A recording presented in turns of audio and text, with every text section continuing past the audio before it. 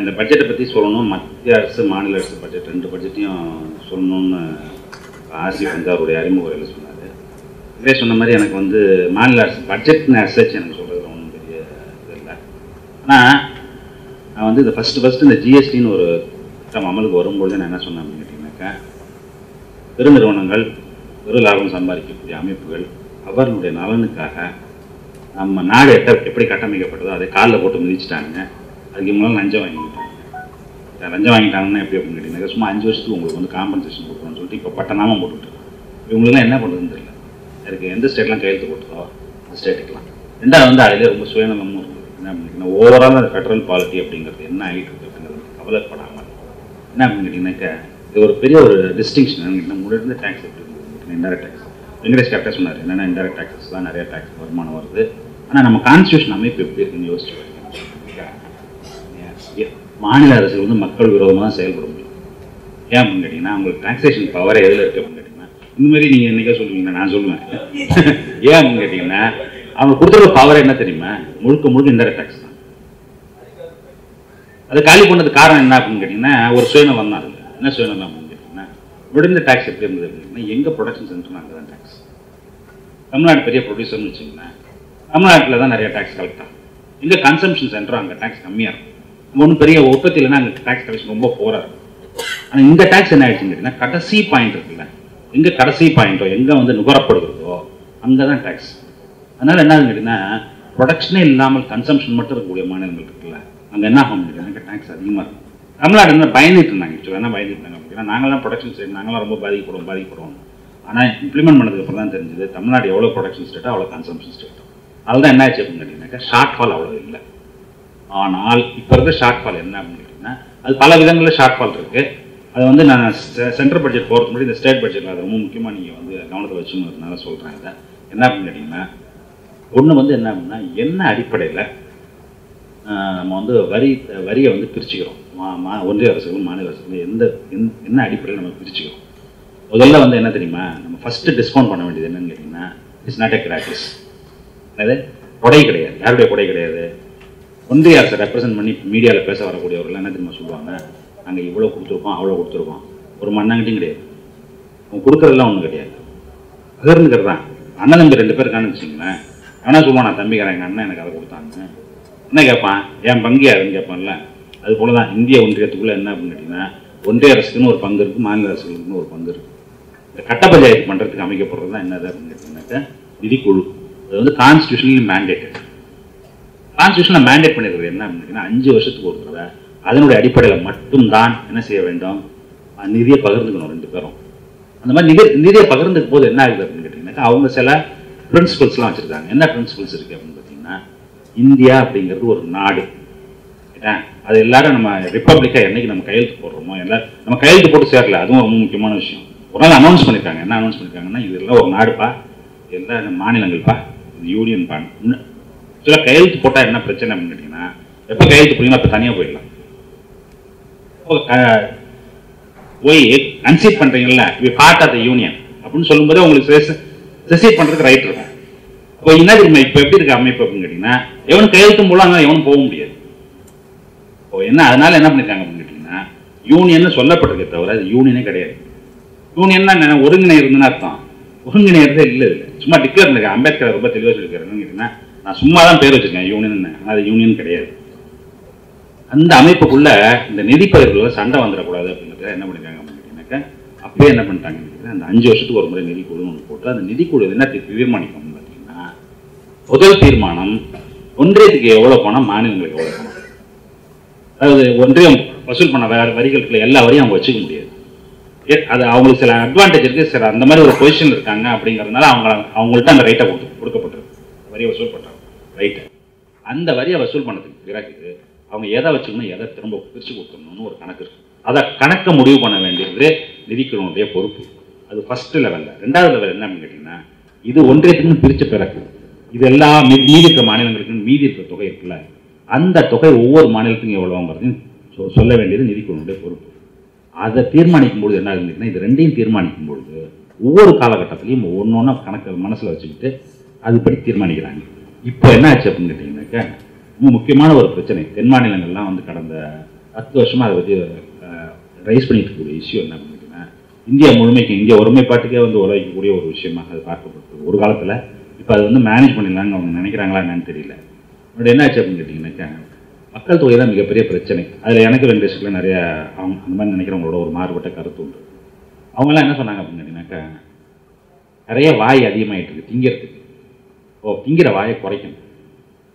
நாங்களாம் என்ன சொன்னோம்? ஒரு வாய் திங்குதுன்னா ரெண்டு கை இருக்குன்னு நாங்கள் சொல்லிட்டு இருந்தோம். நீங்களாம் வாயை முடுங்கன்னு எங்களாம் காலி பண்ணிட்டானுங்க. அது வேற விஷயம் ஆனால் அந்த நிறைய வாய் இருக்குங்கிற பிரின்சிபல் தான் என்ன பண்ணாங்க அப்படின்னு கேட்டிங்கன்னா பாப்புலேஷனை கண்ட்ரோல் பண்ணு.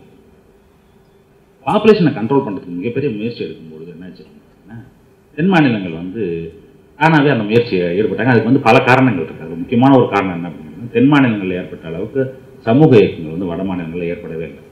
கேரளாவில் வந்து ஒரு வரலாறு இருக்குது தமிழ்நாட்டுக்கு ஒரு வரலாறு இருக்குது கர்நாடகாவுக்கு ஒரு வரலாறு இருக்குது ஒவ்வொரு இடத்துக்கு ஒரு வரலாறு இருக்குது அதனுடைய விளைவு என்ன அப்படின்னு கேட்டிங்கன்னா டெமோக்ராஃபிக் டிரான்சிஷன்ங்கிறது இங்கே ரொம்ப குயிக்காக நடந்து போச்சு. நடந்ததனுடைய விளைவு இந்தியா முழுக்க வந்து இப்போ நூறு கோடி பேர் இருக்காங்கன்னு வச்சுங்களேன் அடுத்த வருஷம் நூறு கோடி பேர் இருக்கணும்னு சொன்னாக்க ரெண்டு புள்ளி ஏழு அளவில் தான் பொருளாதார இது ஆள் வள மக்கள் தொகை வளரணும். இப்போ ரீப்ளேஸ்மெண்ட் லெவல்னு பேர். அப்போ அடுத்த வருஷம் என்னவா இருக்கும்னாக்கா அதே நூறு கோடி பேர் இருக்கும் இதுதான் அவங்க எஸ்டிமேட் பண்ணிக்கிறதுனா டூ பாயிண்ட் செவன் இப்போ இங்கே தமிழ்நாட்டில் கேரளாலாம் எப்படி இருக்குன்னா கேரளாவில் one point three one point four இருக்குது டூ பாயிண்ட் செவன் எங்களுக்கு one point three one point four இருக்குது தமிழ்நாடு இருக்குன்னா அதுக்கு அடுத்தது one point six one point seven இருக்குது டூ பாயிண்ட் செவன் இருந்ததுனால என்ன ஆகும்? அதே லெவலில் பாப்புலேஷன் இந்த ட்ரெண்டை வந்து ஆயிரத்தி தொள்ளாயிரத்தி எழுபத்தி ஒன்றுலேயே நம்ம ரெண்டு ஸ்டேட்டும் பார்த்தாச்சு. பார்த்த போது இதை ரைஸ் பண்ணுறாங்க ரைஸ் பண்ணும்போது பார்லிமெண்ட்டில் வந்து இந்திரா காந்தி ஒரு அஷூரன்ஸ் கொடுத்தாங்க. என்ன அஷூரன்ஸ் கொடுத்தாங்கன்னா ரெண்டு விஷயத்துக்காக எல்லா முடிவுகளும் ரெண்டு. அந்த ஆயிரத்தி தொள்ளாயிரத்தி எழுபத்தி ஒன்று மக்கள் தொகையினுடைய அடிப்படையில் மட்டும்தான் எடுக்கப்படும். ஒன்று வந்து என்ன கேட்டிங்கன்னா ஃபினான்ஸ் கமிஷனில் நிதியை பிரிச்சுக்கிறது. இன்னொன்று வந்து ஒவ்வொரு ஸ்டேட்லையும் எத்தனை பார்லிமெண்ட் சீட் இருக்குங்கிறது இருக்குல்ல? அது ரெண்டையும் தீர்மானம் பண்ணுறது ஆயிரத்தி தொள்ளாயிரத்தி எழுபத்தி ஒன்றுடைய மக்கள் தொகைன்னு அவங்க ப்ராமிஸ் பண்ணியிருக்காங்க அந்த ப்ராமிஸ்க்கு நேர் எதிராக நம்ம அப்போல்லாம் ப்ராமிஸ் கொடுத்தா இந்தியா இந்திய ஒருமைப்பாட்டில் நம்பிக்கை இருக்கிறவங்களாம் என்ன பண்ணோம் அப்படின்னா நம்பணும்.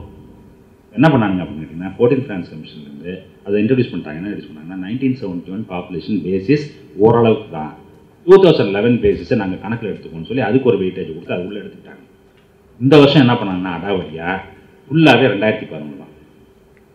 ரெண்டாயிரத்தி பதினொன்று எடுக்கும்போது என்ன பிரச்சனை வருது அப்படின்னு பார்த்தீங்கன்னா ரெண்டு விதத்தில் பிரச்சனை வரும். ஒன்று வந்து என்ன அப்படின்னு கேட்டிங்கன்னா ஒவ்வொரு ஸ்டேட்டும் எவ்வளோ தூரம் வளர்ந்துருக்கு எவ்வளோ தூரம் வளர்றது இல்லைங்கிறதுக்கு ஒரு க்ரூடான இண்டெக்ஸ் என்ன அப்படின்னு கேட்டிங்கன்னா பர் கேபிட்டா இன்கம் இன்கம் கணக்கு பண்ணுறது அப்படின்னு சொன்னாக்கா அவங்களுடைய ஸ்டேட்னுடைய எவ்வளோ இன்கம் வந்திருக்கு வருஷத்தில். அதை வந்து என்ன தர டிவைட் பண்ணுவாங்க அப்படின்னா பாப்புலேஷனால் டிவைட் பண்ணுவாங்க. பாப்புலேஷன் உங்களுக்கு டினாமீட்டர் பெருசாக இருந்தால் என்ன ஆகும்? இன்கம் குறைஞ்சி போகும் இல்லையா? இன்கம் குறையும் போது இவன் ரொம்ப புவர் ஸ்டேட்னு சொல்லி அவங்களுக்கு பணம் நிறைய போகும் இன்னொன்று வந்து என்ன பண்ணிங்கன்னா இன்கம் டிஸ்டன்ஸ்னு ஒரு கணக்கு வச்சுருக்காங்க. என்ன டிஸ்டன்ஸ் வச்சுருக்காங்க யார் ரொம்ப அட்வான்ஸ் ஸ்டேட் அதுலேருந்து இந்த ஸ்டேட் எவ்வளோ தூரம் தள்ளி இருக்குது அப்படின்னு பார்த்து அவனுக்கு நிறையா காசு கொடுக்கும் இது மாதிரி கொடுக்கும்போது என்ன ஆகுது? எங்கே பாப்புலேஷனை கண்ட்ரோல் பண்ணலையோ அங்கெல்லாம் கிராண்ட் நிறைய போகுது. எங்கெல்லாம் பாப்புலேஷனை கண்ட்ரோல் பண்ணிருக்காங்களோ அங்கெல்லாம் கிராண்ட் குறைஞ்சி போச்சு. இதை பற்றி பேச சொன்னாங்க. ஒரு நாலு நாளைக்கு முன்னாடி மீட்டிங்கில் ஒரு விவாத மீட்டிங் அந்த மீட்டிங்கில் நீங்கள் பார்த்துருக்கீங்களா என்னன்னு தெரியல. அந்த மீட்டிங்கில் வந்து நம்ம மாநிலத்தினுடைய அமைச்சர் அவர் வந்து என்ன தமிழ் வளர்ச்சி அவர் வந்து அந்த பப்ளிக் மீட்டிங் என்ன சொல்கிறார் அப்படின்னு கேட்டிங்கன்னாக்கா இம்முறை பட்ஜெட்டில் தமிழ்நாட்டுக்கு நாலாயிரத்தி லட்சம் கோடி அதிகமாக ஒதுக்கப்பட்டிருக்கிறது. எதுக்கு ஒதுக்கப்பட்டிருக்குன்னு சொன்னார் தெரியுமா? மக்கள் தொகையை கண்ட்ரோல் பண்ணுறதுக்காக ஒதுக்கப்பட்டிருக்கு. இந்த மாதிரி வந்து ஒரு பச்சை பொய் மட்டும் இல்லை இது புரிஞ்சு பேசுகிறாங்களா இல்லை பை பொய் சொல்கிறாங்களா இதில் என்ன தெரியுமா? உங்களை மாதிரி ஆட்கள்லாம் ரொம்ப அவேராக இருக்க வேண்டியதுக்காக நான் இவ்வளோ டீட்டெயிலாக சொல்கிறேன் ஏன் அப்படின்னா நீங்கள் மட்டும் தான் அதை கேட்க முடியும். உங்களுக்குலாம் எந்த மாதிரி சந்தர்ப்பம் வரும்? எனக்கு ரெண்டு விஷயமா என்ன மாதிரி சந்தர்ப்பம் வரும்? அந்த மாதிரி கேட்குறது நேரடியாக எனக்கு என்னமோ சந்தர்ப்பம் நான் அவர்கிட்ட கேட்டேன். இல்லை அது மாதிரிலாம் எனக்கு சந்தர்ப்பமே கிடைக்காது. இப்படி சொன்னார். என்ன சொன்னார் அப்படின்னு கேட்டிங்கன்னாக்கா பச்சை புரியாது அதுக்கு முதல் நாள் தான் தாமஸ் ஐசக் வந்து கேரளாவில் இருந்து ஃபினான்ஸ் மினிஸ்டர் சொல்கிறாரு கேரளாவை வந்து வஞ்சிக்கப்படுறது எங்களுக்கு பத்தாயிரம் கோடி குறைஞ்சி போச்சு. உங்களுக்கு கொடுத்துருக்க நாலாயிரத்தி ஐநூறு கோடி என்ன பண்ணிட்டீங்கன்னாக்கா ரெவன்யூ டெபிசிட் கிராண்ட் கொடுத்துருக்காங்க. ரெவன்யூ டெபிசிட் கிராண்ட் கொடுத்தது ரெவன்யூ டெபிசிட் கிராண்ட்னு சொல்லாமல் என்ன சொல்கிறாங்க அப்படின்னா பாப்புலேஷனை கண்ட்ரோல் பண்ணுறதுக்கு உண்டான இன்சென்டிவாக கொடுத்துருக்காங்கன்னு சொல்கிறது எதுக்கு ப்ரெல்யூட் தெரியுமா? அதையும் சந்தேகப்படுறாங்க. என்ன சந்தேகப்படுறாங்க கேட்டிங்கன்னா நாளைக்கு டீலிமிடேஷன் எக்ஸைஸில் தமிழ்நாட்டுக்கு முப்பத்தொம்போது சீட்டுக்கு பதிலாக முப்பத்தஞ்சு சீட் வந்தாலும் முப்பத்தினாலு சீட்டு வந்தாலும் இவங்க என்ன சொல்லுவாங்க அப்படின்னு கேட்டிங்கன்னா அதுக்கு பணம் கொடுத்துறேன்னா அடுத்த போய் கவுத்துருவாங்க ஏன்? இப்போ அதுதான் நிலவரம். அந்த மாதிரி ஒரு சங்கதி நடந்துட்டு இருக்கும்பொழுது இவங்க பட்ஜெட்டில் என்ன பண்ணுவாங்க? இப்போ இது மாதிரி ஒப்பாரி தான் வைக்கலாம்? என்ன வைக்கலாம்? எங்களுக்கு பதினஞ்சாயிரம் கோடி குறைஞ்சி போச்சு இருபதாயிரம் கோடி குறைஞ்சி போச்சு ஒன்று ரெண்டாவது முன்னாடி எப்படி இருந்தது அப்படின்னு கேட்டிங்கன்னாக்கா மக்களுக்கு அணுக்கமாக இருக்கிறது ஸ்டேட் கவர்மெண்ட் மக்களுடைய மக் அங்கே இருக்கக்கூடிய மக்களுக்கு என்னென்ன தேவை? யார் யாருக்கு என்னென்ன வரி விலக்கு இருக்கணும் யாருக்கு என்னென்ன வரி விலக்கு கொடுக்கக்கூடாது அப்படின்னு தீர்மானிக்கிற பண்ணுற அதிகாரம் ரெண்டாயிரம் டேக்ஸை பொறுத்த வரைக்கும் அவங்களுக்கு இருந்தது. இந்த ஜிஎஸ்டி கொண்டு வந்ததுனால என்ன ஆச்சு அப்படின்னு கேட்டிங்கன்னா அவங்களுக்கு எந்த அதிகாரமும் கிடையாது. என்ன செய்யணும் அப்படின்னா அங்கே வர்ற கலெக்ஷனில் இவங்களுக்கு எவ்வளோ ஷேர் கொடுக்குறோன்னா அதை வாங்கிக்கிட்டு அப்புறம் அதை எடுத்துகிட்டு வந்துட்டு இன்னும் ஒன்று ரெண்டு இருக்குது என்னது? ஆல்கஹால் ஒன்று இருக்குது இன்னொன்று வந்து பெட்ரோல் இருக்குது அதான். இது மூணு தான் இருக்குது என்ன? அதை எதுக்கு இவங்க கொடுக்காமல் வச்சுருக்காங்க? அது மாதிரி ஏமாந்துடல. என்ன ஏமாந்துடல இதுவும் போச்சுன்னா என்னடா பண்ணுறது அப்படின்னு பயந்துட்டு இதை வச்சுருக்காங்க. இது எவனும் ஒத்துக்க மாட்டேங்கிறான் இப்போதைக்கு. அதுவும் போச்சுன்னு சொன்னால் இவங்க என்ன செய்யணும்னு கேட்டிங்கன்னா போஸ்ட் ஆஃபீஸ் மாதிரி தான். என்னது? காசை கொடுத்துருவான். நம்ம பசங்களுக்கெல்லாம் வீட்டில் பணம் போடுவாங்க தெரியுமா அக்கௌண்ட்டில் ஆசை செலவுக்கு. இதாப்பா ஆயிரம் ரூபா வச்சு அதுக்கு பாக்கெட் பண்ணி அக்கௌண்ட்டில் போட்டோமேங்கிற எடுத்துக்கணும் அதுக்குள்ளே செலவு பண்ணணும் அது மாதிரி நம்ம ஸ்டேட்டை காலி பண்ணுறதுக்கு உண்டான ஏற்பாடு பாதி மு முக்கால்வாசி முடிஞ்சு போச்சு. ஆனால் சொல்லும்போது என்ன சொல்கிறாங்க அப்படின்னா இது வந்து கோஆபரேட்டிவ் ஃபெடரலிசம் கோஆபரேட்டிவ் ஃபெடரலிசனுடைய கூத்தை கேட்டிங்கன்னா ரொம்ப வேடிக்கை என்ன பண்ணிட்டீங்கன்னா ஜிஎஸ்டி கவுன்சில் எல்லாமே நாங்கள் கன்சென்ஸில் தான் முடிவு பண்ணுறோம்னு சொல்கிறாங்க கன்சென்சஸில் என்னன்னு கேட்டிங்கன்னா யார் ப்ரிசைட் பண்ணுறாங்க கேட்டிங்கனாக்கா யூனியன் ஃபினான்ஸ் மினிஸ்டர் அவங்களுக்கு இருக்கிற ஓட்டுக்கு வெயிட் இருக்குல்ல. அவங்களால என்ன செய்ய முடியும் அப்படின்னா வீட்டோ பண்ண முடியும்? எந்த எந்த மூவியும் வீட்டை பண்ண முடியும்? ஈஸியாக பண்ணிடலாம். அவ்வளோ வெயிட்டேஜ் கொடுத்து வச்சுருக்காங்க. அது மாதிரி இருக்கும்போது என்ன கோஆபரேட்டிவ் ஃபெடரலிசம் அப்போது அவ்வளவு என்ன நடந்துட்டுருக்கு அப்படின்னு கேட்டிங்கன்னா வெறும் வார்த்தை ஜாலங்களில் ஓடிட்டு இருக்கு. அது நம்ம இருக்கிற பேப்பர்காரங்களுக்கு மீடியாக்காரங்களுக்கு அறிவுங்கிறது சுத்த ஜீரோ அப்படியே பெடல் பண்ணுறாங்க என்ன சொல்கிறாங்களோ அப்படியே திருப்பி போடுறாங்க. வெங்கடேஷ் சொன்னார்ல என்னன்ட்டு? பதினஞ்சு லட்சம் லோடி கோடி கடன் வழங்கப்படும் ரூரல் செக்டருக்கு நீ யார் வேணும் அதை சொல்கிறதுக்கு ரைட்டா பேங்க்காரன் சொல்லணும். பேங்க்காரன் வந்து மேண்டேட்டரி என்ன வேலை இருக்குன்னு கேட்டிங்கன்னா வருஷா வருஷம் ஒரு மீட்டிங் போட்டு ஆனுவல் கிரெடிட் பிளான் ஒவ்வொரு மாவட்டத்துக்கும் போடணும். போன வருஷம் எவ்வளோ கொடுத்துருக்கான்? இந்த வருஷம் அதுக்கு என்ன செய்வாங்க கேட்டிங்கன்னா எந்த பேங்க் லீட் பேங்க்னு ஒருத்தன் அனௌன்ஸ் பண்ணிடுவான் அவன் எல்லாம் முப்பத்தஞ்சு பேங்க் இருப்பான். எல்லா பேரையும் கூப்பிட்டு உட்கார வச்சு கலெக்டர் தலைமையில் ஒரு மீட்டிங்கை போட்டு சும்மா ஒரு ஃபார்மாலிட்டி பேப்பர் ஒர்க்கு ஏன்னா இவ்வளோ ரூபா இது இவ்வளோ ரூபா இவ்வளோ போட போகிறோம் அப்படின்னு சொல்லி அடுத்த நாள் பேப்பரில் பெருசாக போட்டுருவாங்க கொடுக்குறானா கொடுக்கலைன்னா அடுத்த வருஷம் அவனு கேட்க போகிறது நடந்துட்டு இருக்கு வருஷம் வருஷம் இதை வந்து நம்ம பெருசாக பேனர் இதுதான் வந்து இப்போ இருக்கிற நிலவரம். எதை பொறுத்த வரைக்கும்? இந்த ஸ்டேட்டை பொறுத்த வரைக்கும். ஸ்டேட்டில் அதனால் என்ன ஆயிருக்கு அப்படின்னா வரத்து இருக்குல்ல வரத்து வந்து இந்த மாதிரி ரொம்ப குறைந்து போயிருக்கிறது. காரணம் இதுதான். ஒன்று ரெண்டாவது வந்து இவங்க என்ன சொல்லுவாங்க அப்படின்னு நீ ரொம்ப எஃபிஷியண்ட்டாக செலவு பண்ண. நீ வந்து ஃப்ரீ பீஸ் கொடுக்காத. அந்த ஃப்ரீ பீஸை பற்றி வெங்கடேஷ் ஏற்கனவே ஒரு ஒரு போட்டுட்டு காமிச்சிட்டாரு அது வந்து அதை பற்றி பேசுறதுக்கு அவங்களுக்கு எந்த ரைட் இல்லைங்கிறது என்னுடைய பாயிண்ட் ஃபினான்ஸ் கமிஷன் கொடுத்த இதுலேயே இருக்குது யூஆரில் என்ன கொடுத்துருக்கான் தெரியுமா? அவன் ஃப்ரீ பீஸ் கொடுக்கலாமா கொடுக்க வேணாங்கிறத பாருன்ட்டு அது யார் அவன் டிசைட் பண்ணுறதுக்கு யார் எம்கே சிங் யார் டிசைட் பண்ணுறதுக்கு தமிழ்நாட்டில் அரிசி இப்போ சும்மா கொடுக்கணும் சும்மா கொடுக்க வேணாமான்ட்டு நம்ம தான் டிசைட் பண்ணணும். அப்படி இருக்கும்பொழுது தமிழ்நாடு பட்ஜெட் என்ன செய்ய முடியும்? பத்தாயிரத்துக்கு இப்போ என்னன்னு கேட்டிங்கன்னா இவங்க வந்து பெரிய மாவீரர்கள் வேறு. ஏன் கடன் வாங்கின டயத்தில் தானே ஓட்டிகிட்டு இருக்காங்க. இவங்களால என்ன செய்ய முடியும்? ஒன்றுமே செய்ய முடியாது. அதனால் அதில் போய் நம்ம வந்து செத்தவம் படிக்கிற மாதிரி அதில் போய் பேசுறது. நம்ம பேசக்கூடிய விஷயம் நான் ஆதங்கப்படக்கூடிய விஷயம் என்னன்னு கேட்டிங்கன்னா இருக்கக்கூடிய ஸ்ட்ரக்சருக்குள்ளே இவங்களுக்கு எவ்வளோ பெரிய இடைஞ்சல் இருக்குது ஸ்டேட்டுக்கு இப்போ இருக்க சூழ்நிலை அப்படிங்கிறத நம்ம சொல்ல முடியுமே தவிர இவங்களுடைய வீராவேசத்தில் நம்ம வந்து கணக்கில் எடுக்க வேண்டிய அவசியமே கிடையாது. அது சும்மா வெளியில் காட்டுற கிராண்ட் ஸ்டாண்டிங் அவ்வளோதான் அதை பொறுத்த வரைக்கும். ரெண்டாவது வந்து இவங்களுக்கு இருக்கிற ரிசோர்ஸஸ் வந்து என்ன அப்படின்னா இவங்களால் பெருசாக ஒன்றும் செஞ்சிடவே முடியாது. ஒன்றுமே செய்ய முடியாது என்ன செய்வாங்க கேட்டிங்கனாக்கா அதாவது நெல் மூட்டைக்கு ஐம்பது ரூபா கூட கொடுக்குறேன் கரும்பு கரும்புக்கு நூறுரூவா கூட கொடுக்குறேன்னு சொல்லிட்டு இருப்பாங்க. இப்போ இப்போ அதெல்லாம் பண்ண முடியாது. ஏன் பண்ண முடியாது அப்படின்னு கேட்டிங்கன்னா ஐம்பது ரூபா கூட கொடுக்குறேன்னு சொன்னாக்கா அவன் சென்ட்ரல் வர வேண்டாம் இந்த ஸ்டேட்டும் கொடுக்க முடியாது. அவன் என்ன சொல்கிறானோ அது மட்டும் தான் செய்யணும். எல்லாம் வாய முடி கம் பேசாமல் இருக்க வேண்டியதான் ஒரே வழி. அதான் நடந்துகிட்ருக்கு அதனால் அதில் போய் நீங்கள் ரொம்ப பெருசாக வந்து நேற்று எனக்கு ஒரு முப்பத்தஞ்சு ஃபோன் வந்திருக்கும். எதுக்கு? இந்த இதை பற்றி பேசுங்க இதை பற்றி ஸ்டேட்டை பற்றி பேசுறதுக்கு ஒன்றுமே இல்லையா? இதை போய் ஏன் பேசுகிறீங்க இதை போய் நான் பேச முடியுமா அவங்கள்ட்ட இனிமேல் செத்த போயிருக்கு உங்கள்கிட்ட இவங்களால ஒன்றும் பண்ண முடியாது போய் பேசுகிறீங்கன்ட்டு அதனால் நான் எதுவுமே பேச மாட்டேன்னு சொல்லிட்டேன். அது மட்டும் இல்லை சில அறிக்கைகள் எழுதும்போது என்கிட்ட கேட்டாங்க. இது இப்படி எழுதலாமா அப்படி எழுதலாமா? எதை வேணாலும் எழுதுங்க. ஏன்னா அவன் பிழைக்கிறது அப்புறம் அறிக்கை தானே எழுதணும். அதில் போய் நம்ம இது சொல்கிறதுக்கு என்ன இருக்குது சரி அதுதான் அதை பொறுத்த வரைக்கும். யூனியன் பட்ஜெட் எடுத்து எடுத்து பார்த்தோம் சொன்னால் வெங்கடேஷ் வந்து கரெக்டாக சொன்னார். என்ன சொன்னார்? ஓ, அதுக்கு வந்து அது புரியல அப்படின்ட்டு புரியலங்கிறது வந்து நான் வெங்கடேஷ்லேருந்து நான் வேறுபடுறேன். என்ன பண்ணிட்டீங்கன்னா இல்லை இல்லை வெங்கடேஷ் அதில் என்ன பண்ணியிருக்காங்க தெரியுமா?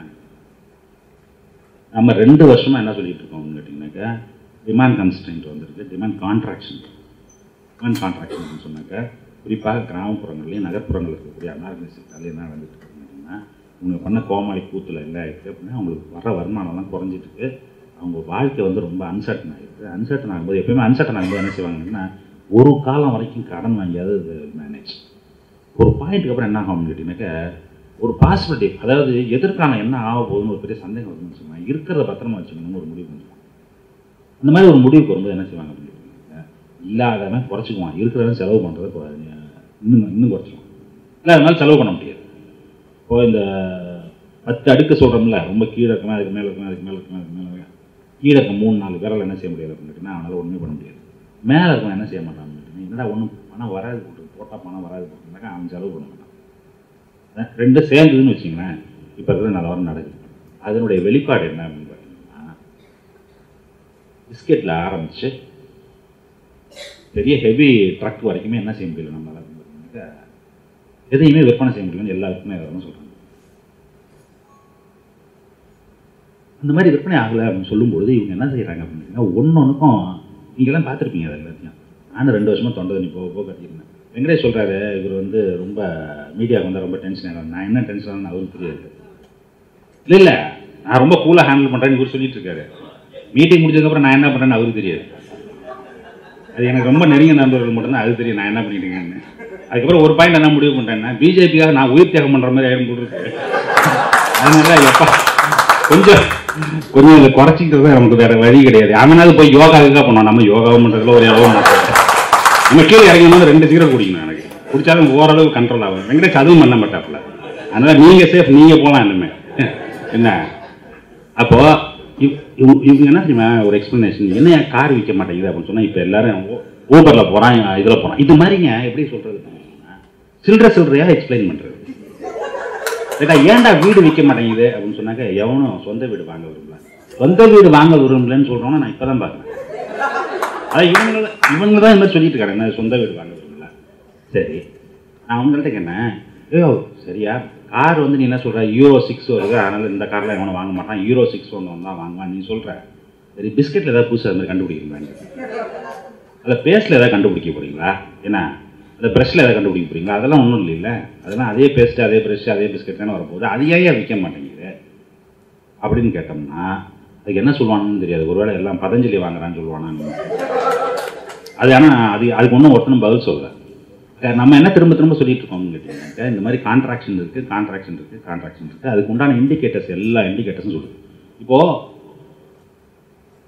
வெங்கடேஷாக இருக்கட்டும் நானாக இருக்கட்டும் அல்லது டெல்லியிலேருந்து இருக்கக்கூடிய ஜேஎன்யூ இருக்க ப்ரொஃபஸர்ஸாக இருக்கட்டும் அல்லது வேறு இந்த மாதிரி நேஷனல் இன்ஸ்டியூட்டில் தொடர்ந்து முப்பது வருஷம் முப்பத்தஞ்சு வருஷமாக பண்ணி ரிசர்ச் பண்ணியிருக்கக்கூடிய ஆட்களாக இருக்கட்டும் அவங்கெல்லாம் வந்து இண்டிகேட்டர்ஸ் சொல்லும்போது அவங்க என்ன செய்கிறாங்க அப்படின்னு கேட்டிங்கன்னாக்கா ஒரு மேக்ரோ எக்கானமின்னு ஒரு அண்டர்ஸ்டாண்டிங் ஒரு சிஸ்டம் புரியுதா இப்போ டாக்டர்கிட்ட போ நீங்கள் போனோன்னா அவன் ஸ்டெத்தஸ்கோப் வச்சு பார்க்குறான்னு சொன்னான்னு வச்சுங்க ஸ்டெத்தஸ்கோப் எதுக்கு வச்சு பார்க்குறாங்கனாக்கா உங்கள் நா- அந்த பராமீட்டருக்குள்ளே வருதா வரலன்னா என்ன அனாமல் இருக்குது அனாமல் ஏன் இருக்குது அப்படின்னு கஸ் பண்ணுறான் அது மாதிரி நாங்கள் என்ன பண்ணுறோம் அப்படின்னாக்கா ஒரு செட் ஆஃப் வேரியபிள்ஸ் இருக்குது அந்த வேரியபிள்ஸை பார்த்துட்டு ஏடா இது இப்படி போனால் இது இப்படி தானே போகணும்? அப்படின்னு எங்களுக்கு சொல்ல சொல்லிக் கொடுக்கப்பட்டிருக்கு.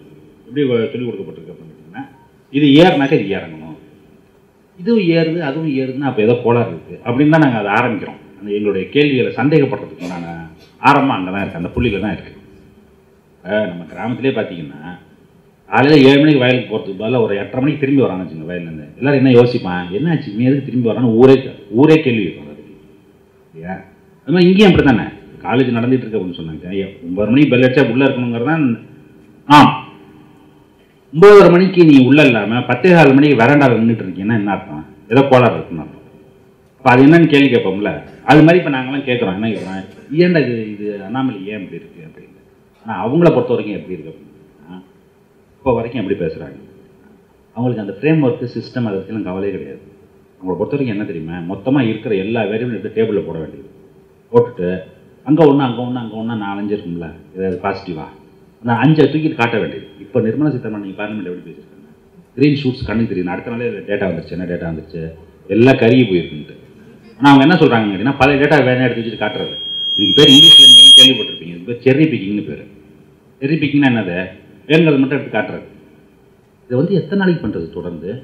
இல்லாமல் பண்ண முடியுமா? மானம்லாம் பண்ண முடியுமா? அப்போ என்கிட்ட எல்லாம் கேட்டாங்க ஏன் ரகுராமராஜன் போயிட்டான்? ஏன் இவன் போயிட்டான்? நான் அவன் போயிட்டான்? அப்படின்னு நான் சொன்னேன். இவ்வளவுதான் தடித்தோலாக இருந்தாலும் ஓரளவு வரைக்கும் தானே தாங்க முடியும் இல்லையா? நாளைக்கு அவன் போய் அந்த சிக்காகோவில் இருந்தால் காரி துப்ப மாட்டான். கூட இருக்கிறவன். ஏன்னா நீ இதை எப்படி சைன் பண்ணன்ட்டு? ஆனால் என்னன்னு கேட்டிங்கன்னா அதை காப்பாற்றி தான் போய் அங்கே இன்னொரு பேப்பர் என்ன பேப்பரு ஆமாம் எப்படி நான் இங்கே இருந்ததெல்லாம் பண்ணியாச்சு. அங்கே போய் ஒழுங்காக அப்போ உங்கள் ஜெனரிட்டி போயிடும். என்ன ஜெனரிட்டி போயிடும்? இன்டர்நேஷனல் கம்யூனிட்டியில் என்ன செய்வாங்க கேட்டிங்கன்னா அகடமிக் கம்யூனிட்டியில் என்ன உனக்கு யோகிதை எவ்வளோ தானே நீ இப்படி தான் போய் பேசிட்டு இருக்கேன் தூக்கி அனுப்பிடுவான் வெளியில். அதுக்காக என்ன செய்யறது போகணுன்னு அவசரம் அவசரமாக ஒரு எல்லா வேரியபிளையும் கனெக்ட் பண்ணி ஆமாம் ஆமாம் தப்பு. ஓவர் எஸ்டிமேட் பண்ணிங்கன்னா யூ ரீகெய்னிங் த கிரவுண்ட் அதான் நடந்துருக்கு. இப்போ இருக்கிற ஆளுக்கு அது கூட தேவையில்லை நினைக்கிறீங்களா ஏன்னா வேற ஒன்றும் வழி இருக்க மாதிரி தெரியல எனக்கு. அப்போது இவங்க என்ன செய்கிறாங்க அப்படின்னு கேட்டீங்கன்னாக்கா அந்த மாதிரி செலக்டிவாக வந்து என்ன செய்கிறது அந்த இதை வந்து பெடல் பண்ணிக்கிட்டே இருக்காங்க.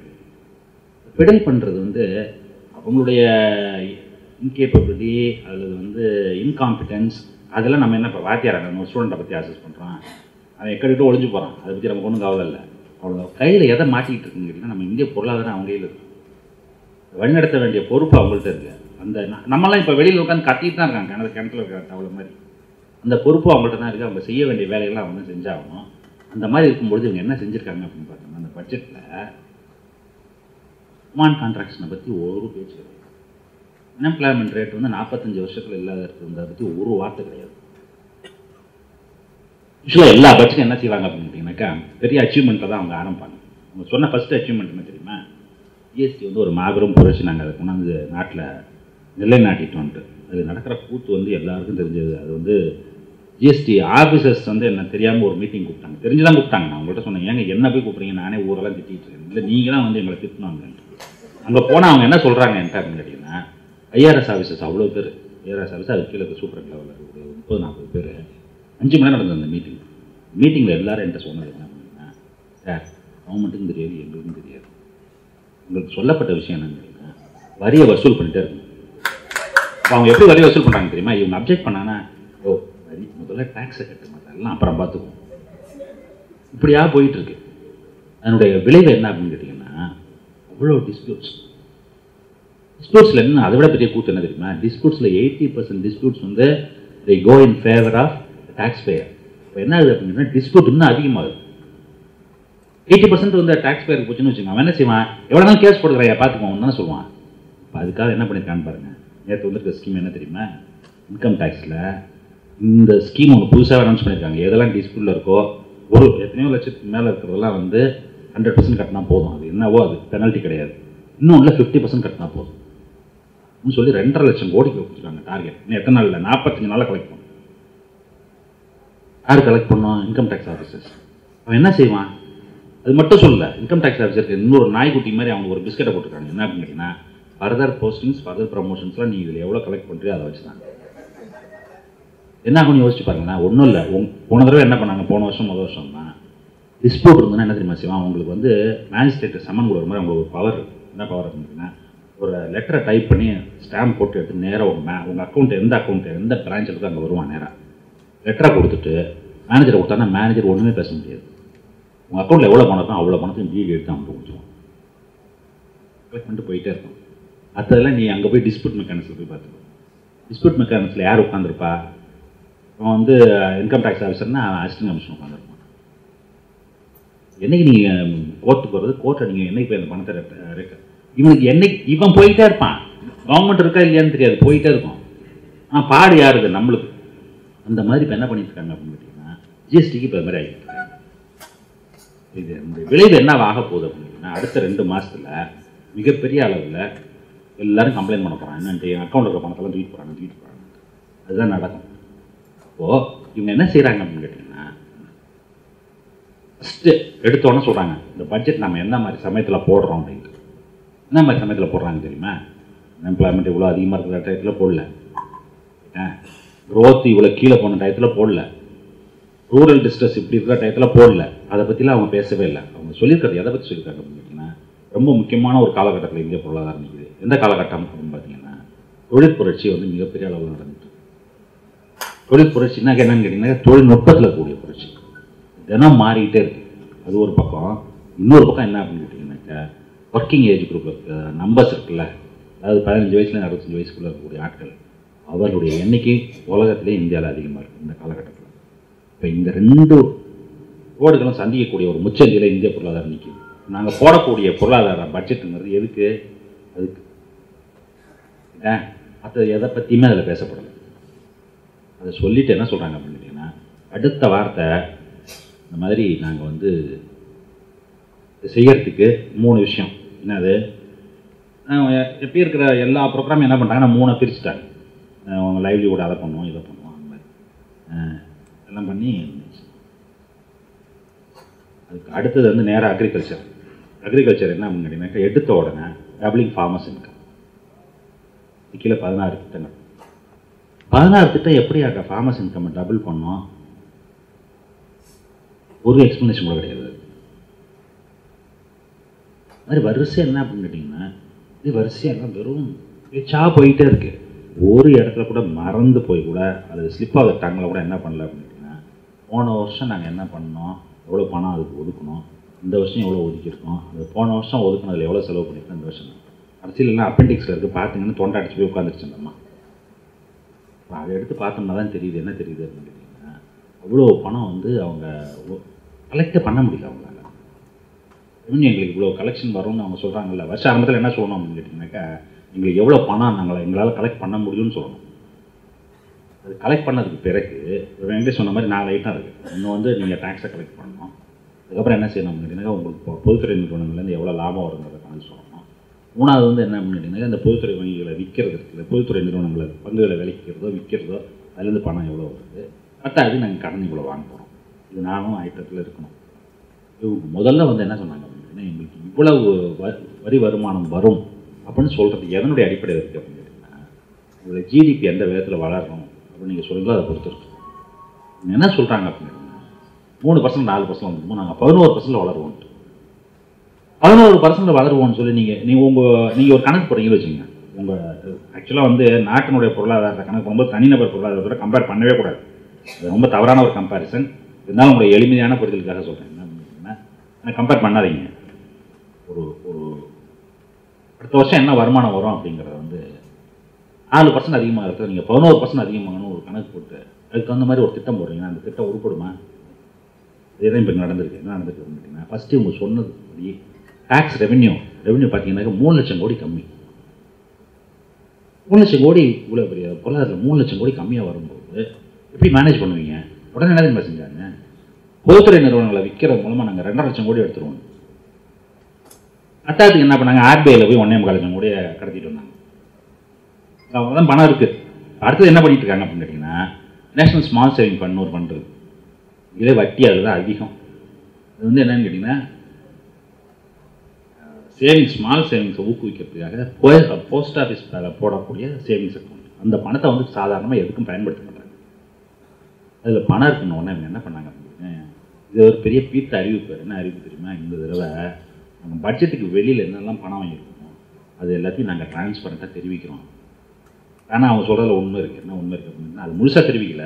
ஆனால் இதுக்கு முன்னாடி இருக்கவங்க எல்லோரும் பண்ணது தான் இருக்குது ஆனால் யாரும் சொன்னதில்லை. ஆனால் இப்போ இவங்க சொல்லியிருக்காங்க. என்ன சொல்லியிருக்காங்க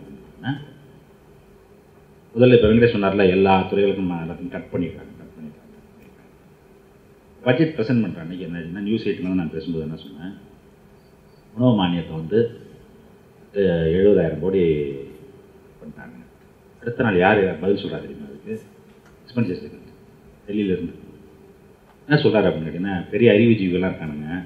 டேட்டாவெல்லாம் அனலைஸ் பண்ணி பார்த்துட்டு எழுபதாயிரம் கூட குறைஞ்சி போச்சுன்னு ஊரெலாம் பேசிகிட்டு இருக்காங்க நாங்கள் என்ன பண்ணியிருக்கோம் தெரியுமா? அந்த எக்ஸ்ட்ரா பட்ஜெட் ரிசோர்ஸஸ்லேருந்து எழுபதாயிரம் கோடி வாங்கி கொடுக்கணும். அதை சொல்ல மாட்டேங்கிறாங்க. இவ்வளோ இது வந்து மாதிரி இங்கே நான் வந்து நம்ம பேசுறது என்ன? வெறும் டேட்டாவாக பேசுகிறோம் நம்ம. நோவு மானியத்துண்டான பணத்தை நீ வந்து பட்ஜெட்லேருந்து எடுக்க வேண்டியது உங்களுடைய தார்மீக பொறுப்பு. ஏன் அப்படின்னு கேட்டிங்கன்னா பட்ஜெட்னா என்ன?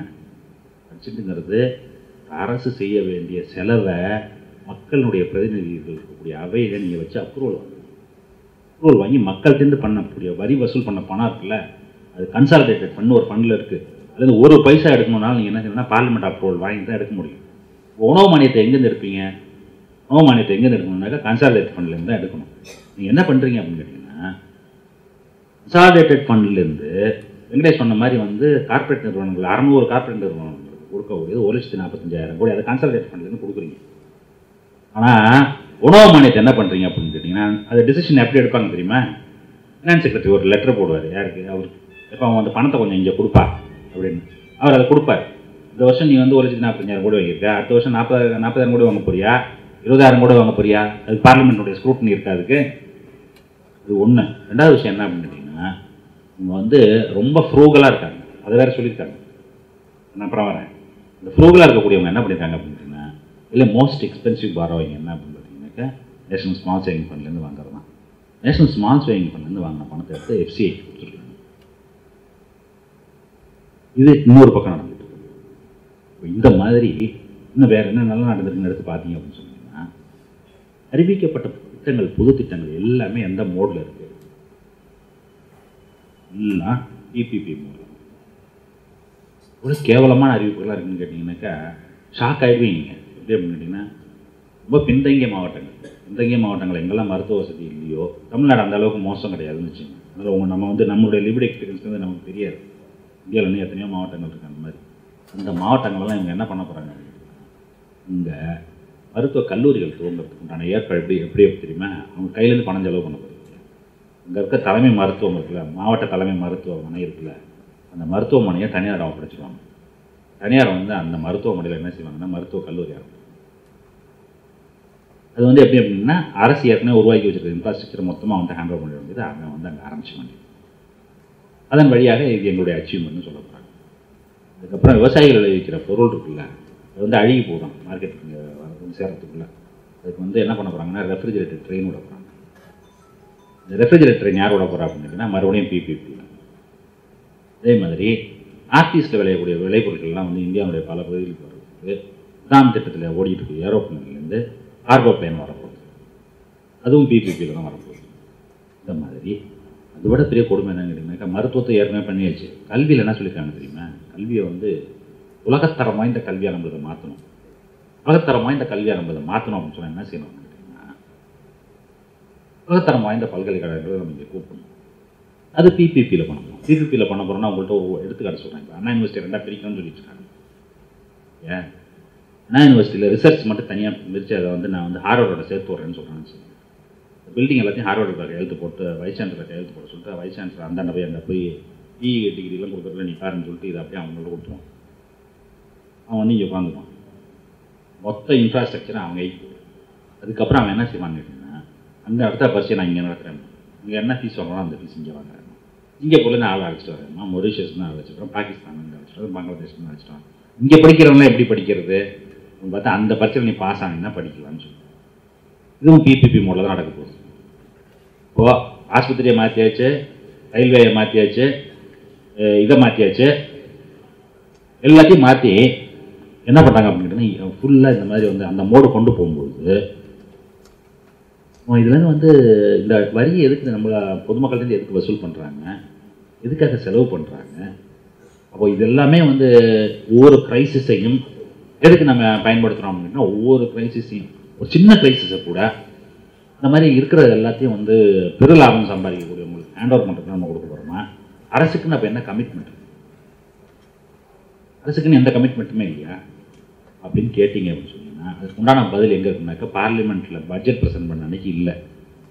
அதுக்கு அடுத்த ஐந்து நாட்கள் அவங்க என்ன பண்ணுறாங்க அப்படின்னா நான் ஊர் ஊராக போய் பேசுகிற மாதிரி அவங்க ஐந்து பெரிய நகரங்களுக்கு நான்கு பெரிய நகரங்களுக்கு போகிறாங்க இங்கே டெல்லிக்கு இங்கே அடுத்த நாள் மும்பை அடுத்த நாள் கொல்கத்தா அடுத்த நாள் சென்னை அதுக்கு அடுத்த நாள் கொல்கத்தா. இங்கே போய் யாரை பார்க்குறாங்க அப்படின்னு கான்ஃபெடரேஷன் ஆஃப் இந்தியன் இண்டஸ்ட்ரீஸ் அவர்கள் தொழிலதிபர்கள். அது வந்து அசோக் கம்பெனி அது மாதிரி அந்த பிற தொழில் நிறுவனங்களுடைய கூட்டமைப்பு இருக்குல்ல அந்த கூட்டங்களில் போய் பேசும்போது அவங்க சொன்ன விஷயம் தான் ரொம்ப முக்கியமான விஷயம். என்ன சொன்னாங்க? பாருங்க பட்ஜெட்டில் நாங்கள் என்ன பண்ணியிருக்கோம்னு பார்த்தீங்கன்னா பட்ஜெட்டில் நாங்கள் ஊதாரித்தனமாக பணத்தை செலவழிக்கவில்லை. பணத்தை வாரி இறைக்கவில்லை வரி பணத்தை. சொன்ன வார்த்தை. உங்களுக்கு என்னெல்லாம் செய்ய முடியுமோ எல்லாத்தையும் செஞ்சு முடிச்சிட்டோம். ஆனால் என்ன அர்த்தம் கேட்டிங்கன்னா நாங்கள் நூறு நாள் வேலை திட்டத்துக்கு பணத்தை கொடுக்கல. அல்லது கல்விக்கு வந்து ஸ்காலர்ஷிப் கொடுக்கறதுக்காக பணத்தை கொடுக்கல. அல்லது ஹெல்த்துக்கு செலவு பண்ணுறதுக்காக நாங்கள் கொடுக்கல. அதெல்லாம் வந்து அன்ப்ரொடக்டிவ் இன்வெஸ்ட்மெண்ட்ஸ் அவங்க சொன்ன வார்த்தை அந்த வார்த்தை எல்லாம் அதில் இருக்குது அந்த டெக்ஸ்ட் எடுத்து படிச்சிங்கன்னா தெரியும் உங்களுக்கு. நாங்கள் அன்ப்ரொடக்டிவாக எதுவுமே செலவு பண்ணல. அப்போ அன்ப்ரொடக்டிவாக எதெல்லாம் சொல் பண்ணலன்னு அப்படின்னு சொன்னாக்கா பட்ஜெட் அலோகேஷன் எடுத்து பார்த்தீங்கன்னா இதெல்லாம் தான் குறைஞ்சிருக்கு வரிசையாக அதுக்கு பதில் என்ன சொல்கிறாங்க அப்படின்னு கேட்டிங்கன்னா நாங்கள் வந்து ஹேவின் ஸ்பிளாரிஸ்ட் உங்களுக்குலாம் தெரியும் இங்கிலீஷ் ஜேர்னலிஸ்ட் தான் தெரியும் ஸ்பிளாரிஜினா என்னன்னு.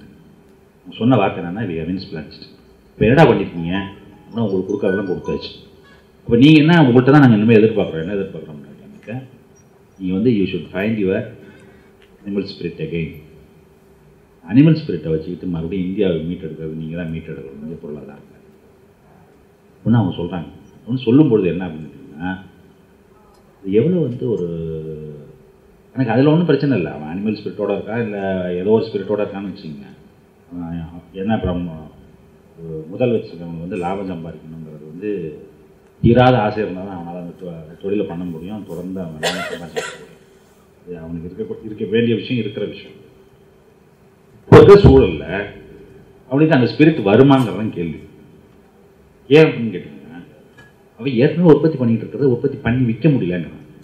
அதுக்கு இருந்த டேட்டா என்ன இருக்குது ஒரு சிம்பிளான டேட்டா இருக்குது கெப்பாசிட்டி யூட்டிலைசேஷன் எல்லா ஃபேக்டரிஸ்லையும் எவ்வளோ கெப்பாசிட்டி யூட்டிலைசேஷன் இருக்குது எல்லா செக்டர்லையும் எவ்வளோ இருக்குது அப்படின்னு பார்த்தீங்கன்னா ஐம்பதுலேருந்து எழுபது பர்சன்ட் தான் இருக்குது கெப்பாசிட்டி யூட்டிலைசேஷன் சில செக்டர்லாம் ரொம்ப மோசமாக இருக்குது கன்ஸ்ட்ரக்ஷன் எடுத்து பார்த்தீங்கன்னா எல்லாம் படுத்துவே கிடையாது. எவனும் கன்ஸ்ட்ரக்ஷன்லேயும் ஈடுபடுறது இல்லைங்கிற லெவலுக்கு வந்துருக்கு மேனுஃபேக்சரிங்லேயும் இப்போ ஐம்பதுலேருந்து எழுபது வரைக்கும்.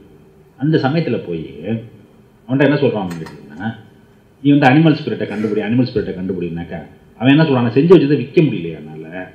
எனக்கு ஸ்பிரிட்லாம் இருக்குது விற்க முடியாத போது நீ என்ன செய்யணும்? அப்படின்னு அவன்லாம் சொல்ல அங்கே சொல்ல பதில் சொல்லாமல் ரெண்டு நாள் கழிச்சு பார்த்தீங்கன்னா ஆதி காத்திரிச்சு உடனே அவன்லாம் எஃப்எம்சிஜியில் இருக்கானா அவன்லாம் அடுத்த நாளைக்கு இருக்கான் பேட்டி விடுவான் தனியாக என்ன பேட்டி விடுறான்னு கேட்டிங்கன்னா நாங்கள் வந்து பட்ஜெட்டில் இன்னும் பெருசாக எதிர்பார்த்தோம் என்ன பெருசாக எதிர்பார்த்தோம்? ரூரல் டிமாண்டை வந்து ரிவைவ் பண்ணுறதுக்கு ஏதாவது செய்வாங்கன்னு எதிர்பார்த்தா அது ஒன்றும் நடக்கல. இன்னும் இப்போ தான் ஆயுதம் வந்து அதுவும் எப்படின்னு கேட்டிங்கன்னா அதை நம்ம ஆட்கள் ரிப்போர்ட் பண்ணுறது எப்படி பண்ணுறான் அப்படின்னு ஹெட்லைன்ஸ் இதெல்லாம் கிடையாது. அது government failed to revive rural டிமாண்டில் கொடுக்கணும்ல தலைப்பு. தேஸ் ஆதி காத்ரேஜ்னு. அதெல்லாம் கிடையாது. வேறு ஏதோ ஒரு தலைப்பு அந்த தலைப்பை யோசிச்சு யோசிச்சு பார்க்குற அந்த தலைப்பை என்னால் கண்டுபிடி ஞாபகத்துக்கு வர மாட்டேங்குது. அந்த மாதிரி ஒரு தலைப்பை விடுறான். நான் ரொம்ப மெனக்கிட்டு உள்ளே படித்து பார்த்தேன். என்ன தான் சொல்கிறான் இதில்? படித்து பார்த்தா உள்ளுக்குள்ள இதெல்லாம் இருக்குது என்னன்ட்டு மாதிரி ரிவைவ் பண்ணுறதுக்கு எதுவும் செய்யலை இந்த சூழலில் இந்த பட்ஜெட் அப்படிங்கிறது இப்போ இருக்கக்கூடிய பொருளாதார நிலை இருக்குல்ல அந்த பொருளாதார நிலையை எப்படி அதை சரி பண்ணணும்னு நம்ம நம்புறது? நம்புறதுக்கு என்ன? முகாந்திரம் இருக்கு. இது கவுண்டர் நெரேட்டிவ் யாராவது சொல்லுவாங்க அப்படின்னு பார்த்தோம்னா ஏன்னா என்ன சொல்ல நான் எதெல்லாம் காதில் கேட்க கேட்க கேட்டுக்கிட்டு இருக்கேன் அப்படின்னு எல்லாம் சரியாயிடும். எல்லாம் சரியாயிடும் அப்படின்னு சொன்னால் நம்ம வந்து சாமியாரை பார்க்க போயிருக்கோமா? அல்லது வந்து இந்த நாட்டில் அக்கறை இருக்கக்கூடிய ஒரு எக்கானமிஸ்ட்டை பார்க்குறோமா? அல்லது வந்து ஒரு பாலிட்டிஷியனை பார்க்குறோமா? அப்படின்னு நமக்கு ஒரு சந்தேகம் வருது. இதான் இப்போ இருக்கக்கூடிய சூழ்நிலை? நமது யூடியூப் தளத்தில் உள்ள வீடியோக்கள் அனைத்தும் கிரியேட்டிவ் காமன் என்கிற விதிப்படி பதிவேற்றம் செய்யப்பட்டவை. இதை நீங்கள் தரவிறக்கம் செய்து உங்கள் தேவைக்கு பயன்படுத்திக் கொள்ளலாம். அதற்கு காப்புரிமை அதாவது காப்பிரைட் தேவையில்லை. பாருங்கள் பகிருங்கள் பகுத்தறிவு ஒளியை பரவ செய்யுங்கள். நன்றி.